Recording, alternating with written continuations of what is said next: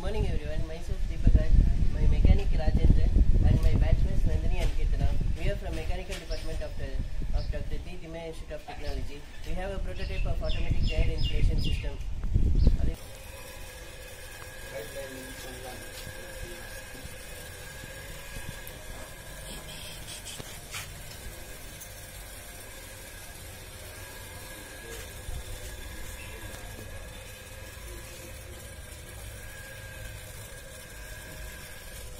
This is the prototype of automatic tire inflation system. We have a pressure switch and a solenoid valve and the solenoid valve is connected to the control box and even the com- compressor is connected to the control box.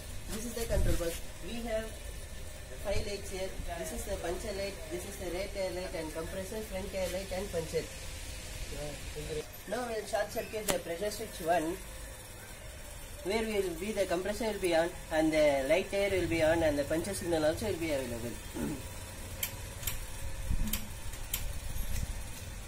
This blue color light indicates that the compressor is on, and the and this green color light is indicated that the rate pressure is getting inflated, and the puncture signal also be connected.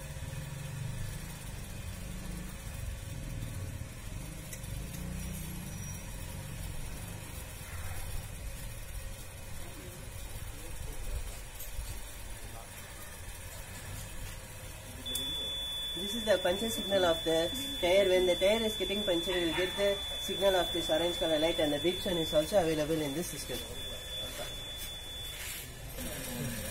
This is the this is the rotary joint where the air hose is connected here and it is connected to the to the nozzle of the tire where the air can be inflated in. It can be placed again. It can be placed again and this rotary joint helps the air to move inside without the tank.